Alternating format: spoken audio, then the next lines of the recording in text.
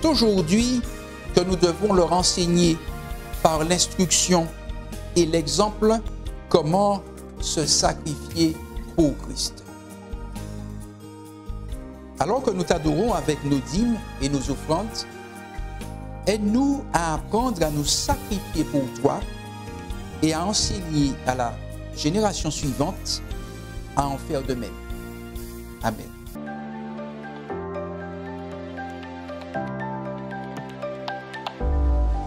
Bonjour et bon sabbat. Aujourd'hui, nous poursuivons notre semaine sur la gestion chrétienne de la vie. Et comme d'habitude, nous voulons partager avec vous des principes de vie dans lesquels Dieu souhaite que vous intégrez dans votre vie. Et ce message ce matin est intitulé Le don de l'amour. Et la référence biblique est tirée de l'évangile de Jean au chapitre 12, le verset 7. Mais Jésus dit, laissez-la tranquille. Elle a fait cela en vue du jour où l'on me mettra dans la tombe. Prions. Notre Dieu, notre Père céleste, Dieu Tout-Puissant, ta parole a été lue. Dispose nos cœurs à entendre ce message que tu as en réserve pour nous.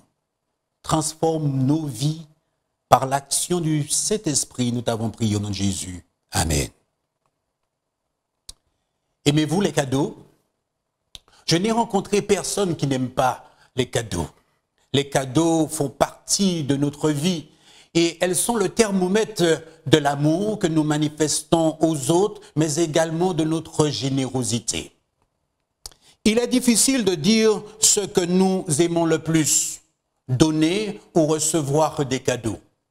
Mais une chose est sûre, la parole de Dieu est claire. Jésus, notre instructeur, nous dit, il y a plus de bonheur à donner qu'à recevoir.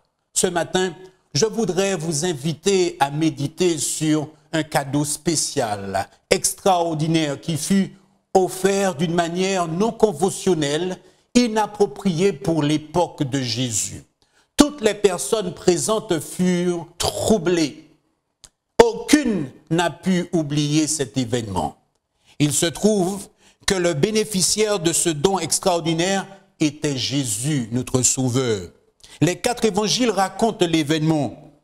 Matthieu dit qu'une femme répandit le parfum sur la tête de Jésus. Marc, en revanche, ajoute un détail. Cette femme a rompu le vase d'Albâtre et Jésus est décrit comme, un personnage qui accueille ce, ce don de Marie, puisqu'il va dire, une bonne action, elle a fait une bonne action à mon endroit.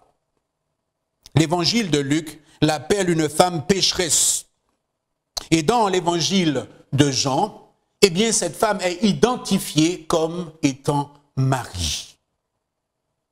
Et pour mieux comprendre le contexte de cette situation, de cet événement et le situer dans l'histoire, certains commentateurs vont diviser l'évangile de Jean en deux parties. La première partie du chapitre 1 au chapitre 12, eh bien cette partie-là est appelée le livre des signes ou encore le livre des miracles. Dans, la, dans cette partie, Jean va présenter sept signes. Le premier, fait référence au miracle de Jésus lors du mariage à Cana. Et il l'achève par le dernier signe qui est la résurrection de Lazare à Béthanie. La deuxième partie prend son, euh, son essor au chapitre 13 et s'achève par l'évangile et achève l'évangile de Luc. Et cette partie est appelée le livre de gloire.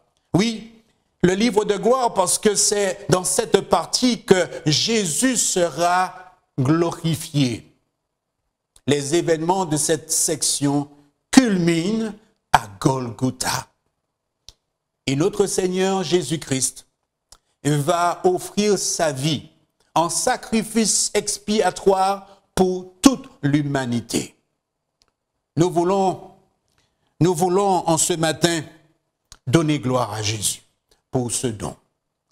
Et nous voulons utiliser cette, ce contexte, cet événement pour que nous puissions être de meilleurs gestionnaires de ce qu'il nous a donné. Nous voyons comment dans l'évangile de Jean, la popularité de Jésus augmente d'un signe à l'autre. La résurrection de Lazare motiva le Sanhédrin à se réunir rapidement pour décider ce qu'il ferait de ce Jésus. Plus tard, le Sanhédrin va décider euh, que Jésus doit mourir. Et le disciple de Jean, le bien-aimé disciple de Jésus, va aller plus loin il va décrire la scène après avoir décrit le souper dans la maison de Simon. Il va parler d'une autre décision du Sanhédrin à l'endroit de Jésus. Jésus doit non seulement mourir, mais Lazare aussi doit mourir. Jean intercale le récit de l'onction de Jésus sous une nuée de menaces, montrant à quel point la tension était grande à ce moment précis. Si dans la première partie de l'évangile de Jean, nous avons une chronologie de ce qui s'est passé pendant la première semaine d'activité messianique, maintenant le compte à rebours va commencer, à commencer pendant cette dernière semaine avant la crucifixion. Six jours avant la Pâque, Jésus veut, souhaite passer le dernier sabbat avec ses amis dans une famille dans laquelle il se sentait vraiment bien. Sur les lieux, plusieurs personnes étaient rassemblées. Simon, Simon pharisien, se considérait comme un disciple de Jésus. Il voulait profiter de cette occasion pour lui rendre hommage, lui préparant un repas bien spécial. Simon portait l'épithète le lépreux. Oui, pourquoi? Eh bien tout simplement parce qu'il avait souffert de cette terrible maladie et Jésus l'avait guéri. Lors de ce repas, les disciples étaient également présents ils accompagnaient Jésus. D'autres juifs étaient également présents.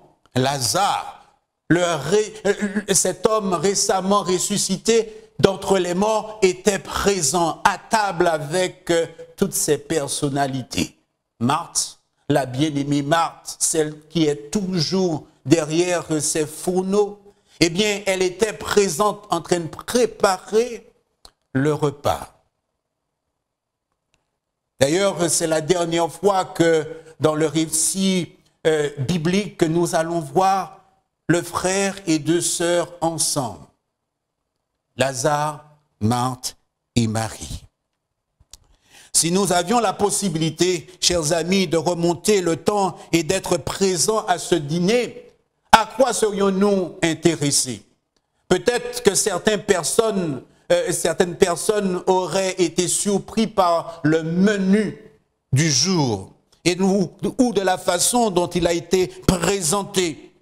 Euh, d'autres seraient peut-être interpellés par la culture très différente des nôtres, puisque dans ce rassemblement, uniquement les hommes étaient tolérés, alors que les femmes étaient euh, plutôt en retrait préparant le service, le repas.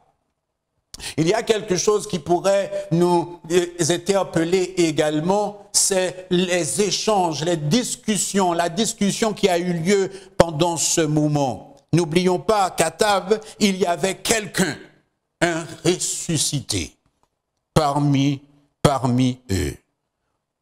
Et une telle chose ne s'était jamais produite auparavant. Le dîner battait son plein lorsque quelque chose inhabituel, voire scandaleux pour certains, se produisit soudainement. Une femme nommée Marie entre dans l'espace où se déroule l'événement, cette célébration. Elle transporte avec elle un récipient qu'elle a d'abord rompu. Puis, elle va répondre le contenu sur Jésus. De la tête aux pieds, elle versera le contenu sur Jésus.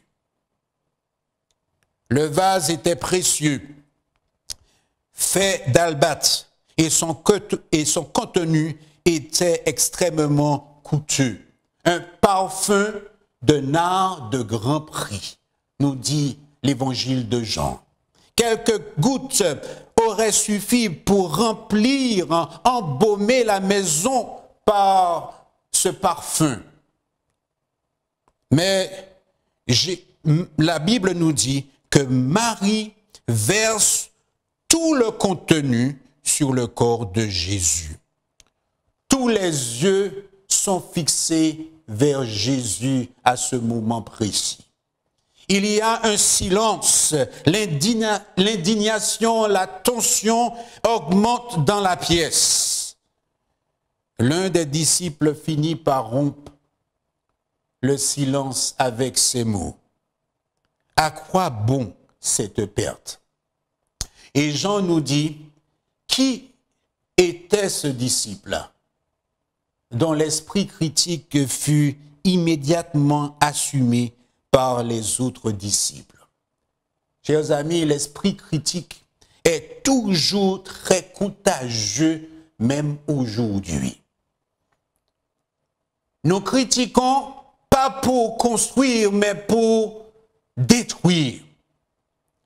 Malheureusement, euh, malheureusement, au lieu de bâtir pour euh, pour, que cela soit durable, nous passons du temps à briser des relations humaines et briser le cours naturel euh, qui nous permettrait de grandir, de nous construire, de bâtir quelque chose de solide et de durablement. Dans un souci mercantile, Judas calcula immédiatement le coût de cette perte. Et soit, soit 300 dinars, 300 dinars, pour avoir une idée de, cette somme, eh bien, euh, les recherches révèlent que 300 dinars permettaient à, subvenir aux besoins naturels d'une famille pendant un an, pendant une année. Nous pouvons évaluer euh, le don de Marie comme un, don exceptionnel. Aujourd'hui encore, si cela était possible de réaliser, euh, faire le parallèle avec euh, les revenus d'aujourd'hui, un salaire d'une année pour, un montant, une somme d'argent pour subvenir aux besoins d'une famille pendant une année, c'est vraiment vraiment une somme élevée. Et nous pouvons évaluer ce cadeau en disant que ce cadeau est un cadeau exceptionnel.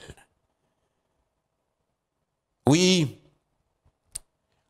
dans ce silence, Marie s'est certainement sentie triste, affligée. Sans doute elle a eu peur de la réaction de Jésus. Mais Jésus brisa le silence à travers ces mots en disant, Laissez-la tranquille. Elle a fait cela en vue du jour où l'on me mettra dans la tombe. Jésus ne défend pas seulement Marie. Il apprécie également la signification profonde de son geste le don de Marie dirige les regards vers un don plus supérieur, plus grand, le don qu'il a l'intention de faire à Golgotha. Un don qui servira à sauver non seulement ceux qui sont en sa présence, mais un don qui touchera, aura des répercussions euh, sur l'humanité tout entière. Dans ce récit que nous connaissons, nous pouvons analyser l'attitude des uns et des autres. Mais aujourd'hui, euh, cherchons à analyser deux attitudes et qui nous permettront de, de tirer profit et d'être des hommes qui peuvent donner, des hommes et des femmes qui peuvent donner avec amour. Le personnage principal de ce récit est bien sûr Jésus. Mais examinons deux autres personnages. Et je veux faire euh, euh, allusion à Judas et à Marie. Judas avec S est un dérivé du nom Judas sans S. Est un nom très magnifique puisqu'il signifie je louerai l'Éternel. Aujourd'hui, cependant, ce, ce, nom est très rare. Et nous savons pourquoi. Parce que personne n'aimerait être associé à ce personnage qu'on appelle Judas le traite. Pourquoi Judas fut agacé? Et pourquoi créa-t-il cette atmosphère d'indignation envers Marie et même envers Jésus? Hélène White, dans le livre Jésus-Christ, dira ceci.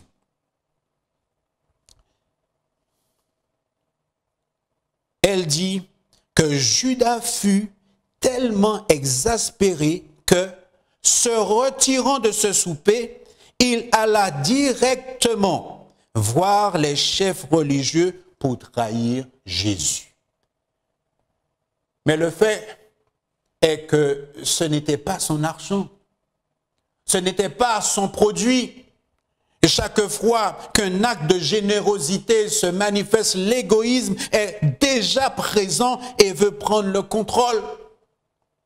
Ce fut le cas à cette occasion et il en est de même pour nous aujourd'hui. Quelqu'un a toujours à redire d'un acte de générosité. La critique est facile. Non seulement elle est facile, mais elle révèle l'égoïsme qui est endormi en nous.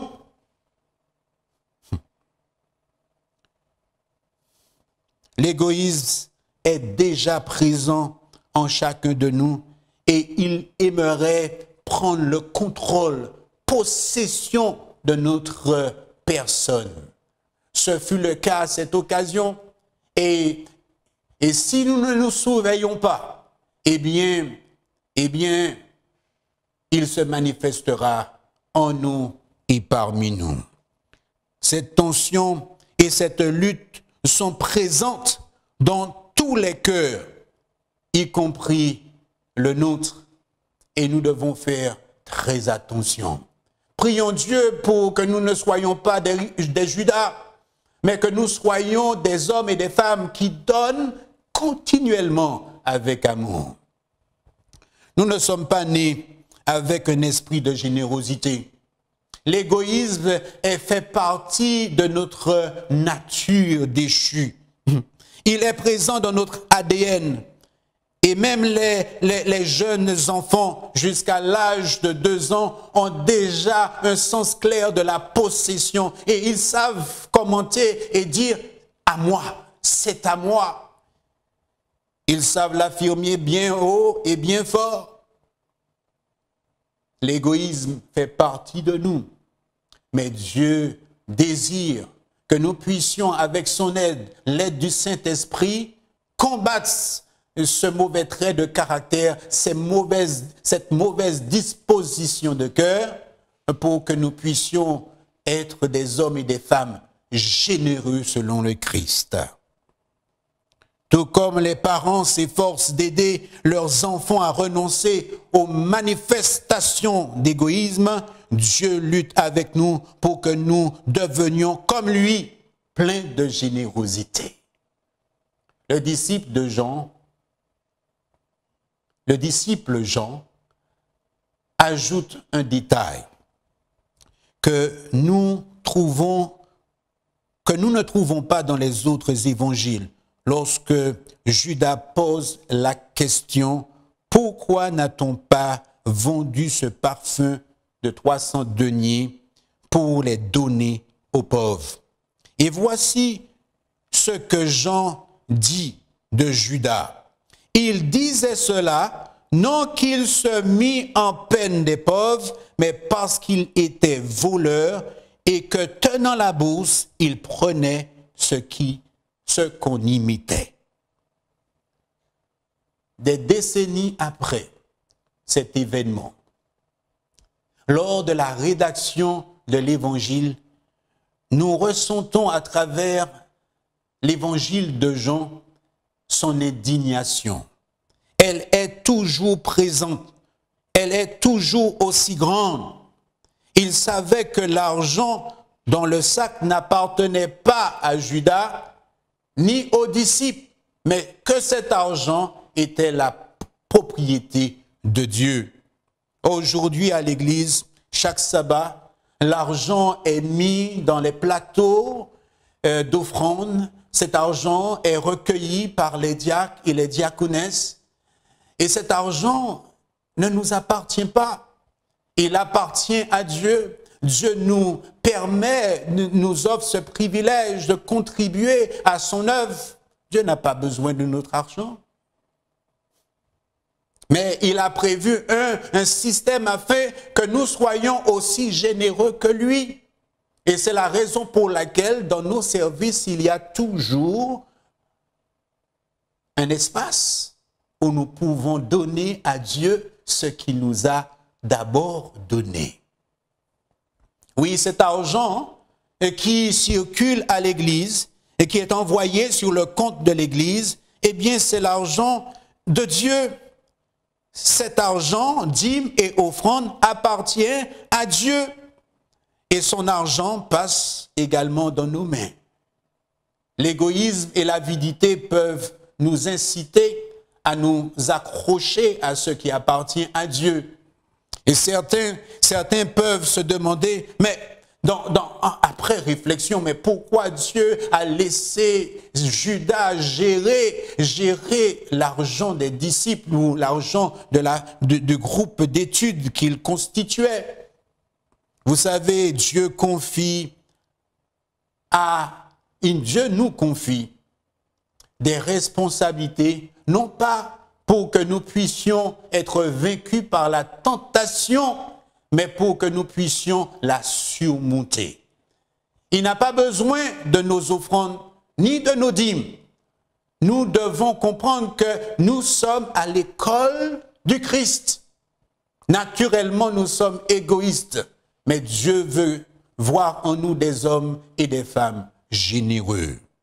Nous devons vaincre l'égoïsme et la critique. Judas nous dit Hélène White dans un commentaire, Judas avait cultivé l'avarice au point que tous les bons traits de son caractère en avaient été neutralisés. Il enviait ce qui était offert à Jésus. L'envie dévorait son cœur en voyant le Sauveur recevoir un don digne d'un monarque terrestre. En contraste avec l'attitude de Judas, nous avons l'exemple de Marie. Son don dépasse toutes les attentes. Elle est un modèle de générosité. Jean dit, la maison fut remplie de l'odeur du parfum. Mais non seulement la maison en fut remplie, mais aussi la cour. En dehors du Sauveur, personne n'est plus honoré dans, le Nouveau Testament que Marie. Car Jésus a dit, partout où cette bonne nouvelle sera prêchée dans le monde entier, on racontera aussi en mémoire de cette femme ce qu'elle a fait. Dans le vase que Marie a brisé se trouvaient toutes ses richesses, toute sa dot, ses rêves. Si nous voulons, si nous avions la possibilité de lui demander aujourd'hui de l'interviewer, il dit Marie, cela valait-il la peine que tu fasses une telle chose? Que pensez-vous qu'elle, que serait sa réponse? Moi, je crois, je suis convaincu qu'elle dirait ce que j'ai fait ne peut en aucun cas être à la hauteur de ce qu'il a fait pour moi. Dans l'évangile, Marie se trouve à chaque fois au pied de Jésus. Après la résurrection, c'est à elle que Jésus se révèle en premier lieu, en tout premier lieu. L'essence de Na pure s'est imprégnée dans le corps du Sauveur et a continué à se répandre, à, se répandre autour d'elle. Lorsqu'on se moqua de lui, de Jésus, quand il fut battu et pendu au bois, le parfum de l'huile de nard pur disait qu'il y avait des êtres dans ce monde et qui acceptaient le sacrifice qu'il, que Jésus avait consenti pour l'humanité. Oui, chers amis, Marie est un exemple à suivre. Et si nous suivons son exemple, l'égoïsme qui est en nous disparaîtra. Parce que eh, eh, elle a fait preuve de sacrifice. Elle a donné tout ce qu'elle avait pour honorer celui qui l'a libéré du pouvoir du péché. Alors, la question pour nous aujourd'hui est la suivante. Que pouvons-nous offrir à une personne qui a absolument tout? La seule chose que nous pouvons lui offrir, c'est notre amour. Avec les dîmes, Dieu a institué un système d'offrande. Souvent, lorsque nous discutons de la pratique de la dîme, et de la, façon dont Dieu traite ce sujet, nous ouvrons la Bible au dernier livre de l'Ancien Testament et je veux faire allusion au livre de Malachie. Dans le premier chapitre de ce livre, Dieu exprime son mécontentement quant à la façon dont le peuple traitait les offrandes et qui devaient être apportées au temple. Et dans le troisième chapitre, avec les dîmes, les offrandes sont à nouveau mentionnées. Dans la Bible, les offrandes sont souvent associées à la confession des péchés et à l'adoration. Mais la norme, la norme en matière, la norme en matière d'offrande est différente à celle de la dîme. Nous le savons, la dîme est notre devoir et, les devoirs, euh, lorsque les devoirs sont exprimés dans la Bible, ils sont exprimés dans des termes spécifiques. Et c'est la raison pour laquelle, lorsqu'on fait référence à la dîme, on fait allusion d'un chiffre précis. On parle de 10%, oui, le 10% de nos revenus. Quelle que soit la somme que nous recevons, nous percevons, eh bien, Dieu réclame de nous 10%. Mais pour les offrandes, en ce qui concerne les offrandes, eh bien, nous ne sommes pas limités à un, chiffre, à un nombre mathématique exact. Les offrandes sont déterminées eh, par notre gratitude et notre amour pour Dieu. Le don extraordinaire de Marie est l'expression de son amour et de sa reconnaissance envers Dieu. Ce sont nos offrandes et non nos dîmes qui montrent combien nous aimons Dieu. Et cela devrait nous interpeller.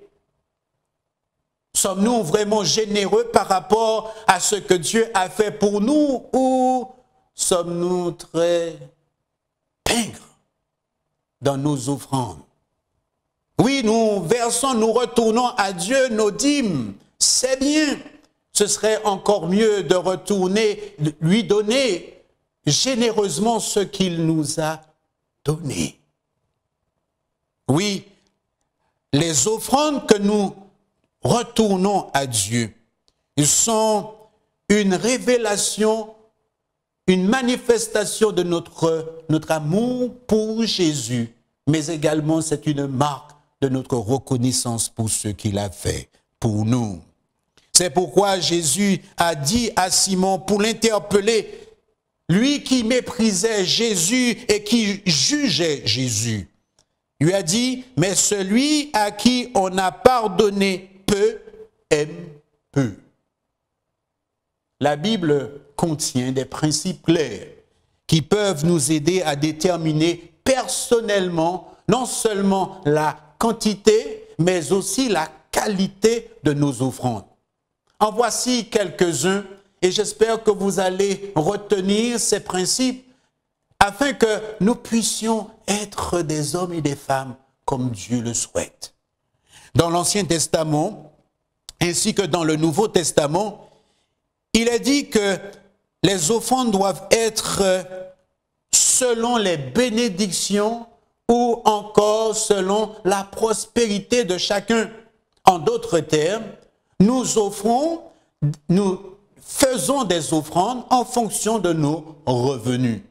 Le second principe est celui du sacrifice.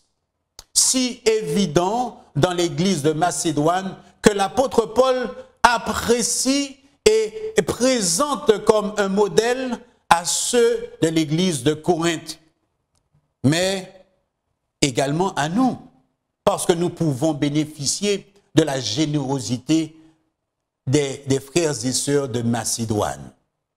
Jésus a été tellement à, une autre époque, tellement à son époque, Jésus a été impressionné par le don de la veuve qui a donné non pas de son abondance, mais par sacrifice. Et il est dit dans Marc, elle a donné tout ce qu'elle possédait. Chaque sabbat, lorsque nous nous rassemblons euh, pour adorer Dieu, nous devons être en mesure de faire des dons sur la base de sacrifice.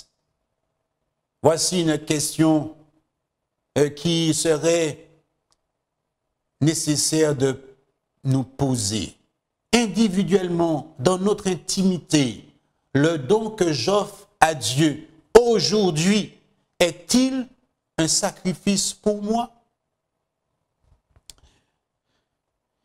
Rappelons-nous ceci. Ce n'est pas Dieu qui a besoin de nos dons, mais c'est nous qui avons besoin d'être guéris de notre égoïsme. Le troisième principe que j'aimerais partager avec vous est celui de la régularité.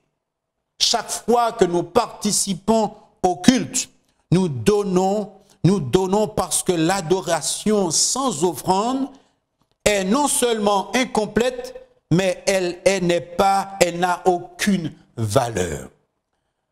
Comment puis-je adorer sans manifester ma reconnaissance pour, pour le sacrifice de Jésus? Comment Impossible. Nous devons continuellement, chers amis, admirer, contempler quotidiennement le don suprême de notre Seigneur et Sauveur Jésus-Christ au calvaire. Et le dernier principe qui serait nécessaire de retenir. C'est un principe qui se dégage de l'analyse de Jésus. Jésus a mentionné dans le sermon sur la montagne ce principe. C'est le principe euh, qui place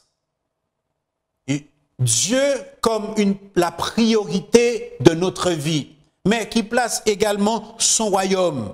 C'est-à-dire, la priorité, on donne en offrant à Dieu, nous, admettons que Dieu est notre priorité, son royaume l'est aussi. Contrairement à d'autres, Marie eut l'occasion d'oindre le corps de Jésus avant ses funérailles parce qu'elle avait fait de ce don à Jésus une priorité. Les loin dit que le Saint-Esprit avait tout disposé pour elle et elle obéissait simplement à ses suggestions. Le Saint-Esprit veut toujours nous guider. Il veut toujours nous inspirer dans notre manière de donner des offrandes aujourd'hui. Nous pouvons écouter ces exhortations ou faire comme Judas, être guidé par l'égoïsme. Oh, je prie Dieu que nous soyons des hommes transformés par son Esprit Saint. Les moments sont difficiles. Nous devons tous nous serrer la ceinture pour nous entraider et, faire émerger dans nos familles, dans nos communautés, un esprit de générosité afin que personne ne manque de rien. Et si toutefois, dans nos communautés, nous avons tout ce qui est euh, euh, tout le monde a, de quoi partager, eh bien nous, nous allons étendre ce sentiment de générosité à nos voisins. Oui, je crois qu'il est encore temps d'être transformé par le Saint-Esprit pour faire de nous des hommes, des économes selon le cœur de Dieu. Chaque don que nous faisons doit devenir un symbole du sacrifice au calvaire. Jésus a vu que le don de Marie était un symbole du parfum du salut qui devait se répandre de Golgotha jusqu'aux extrémités de l'univers. Marie fit à Jésus un don encore plus précieux. Elle brisa son vase précieux d'albâtre avec, en versant le contenu sur Jésus, mais elle fit aussi quelque chose de plus, plus précieux. Elle eut le cœur brisé pour Jésus. Un cœur brisé de reconnaissance pour ce qu'il a fait pour elle. Chers amis, nous devons faire la même expérience.